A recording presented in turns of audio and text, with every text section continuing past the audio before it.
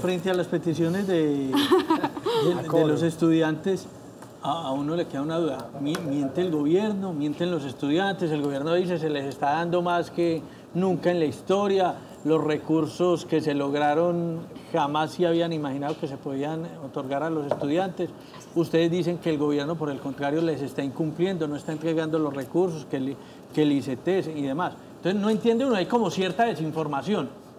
Porque el gobierno dice una cosa, es más, hasta rector, acá tuvimos el rector del, del, Politécnico la semana anterior, dice los recursos que hemos recibido jamás los habíamos recibido para la educación, pero los estudiantes dicen otra. Y, obviamente las personas del común dicen, bueno, entonces, ¿quién dice la verdad? ¿A quién le o a quién le creemos. O en realidad les están dando más de lo que tradicionalmente les habían dado, pero no lo que ustedes esperaban.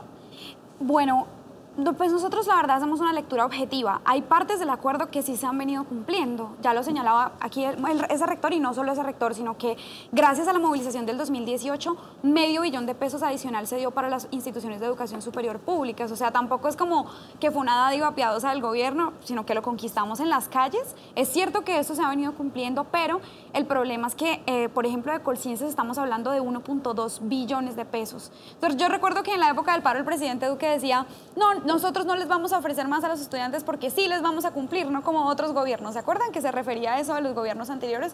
Pues bueno, ha cumplido parte del acuerdo, es cierto, pero también hay otra parte que está incumpliendo que para, no solo para nosotros, sino creo que muchos académicos en general coincidirían con que la financiación de la ciencia y la tecnología es fundamental para que un país se desarrolle. Entonces, yo le diría a todos los ciudadanos, es cierto que hay parte de, los acuerdos que se están cumpliendo, marchar si sirve, luchar si funciona, pero también ya haría un llamado al gobierno a que cumpliera en su totalidad los ¿Qué tal si solamente hubiéramos vuelto a clase el 70% de las universidades públicas? ¿No hubiera dicho el gobierno que los estudiantes estamos incumpliendo nuestra parte del acuerdo?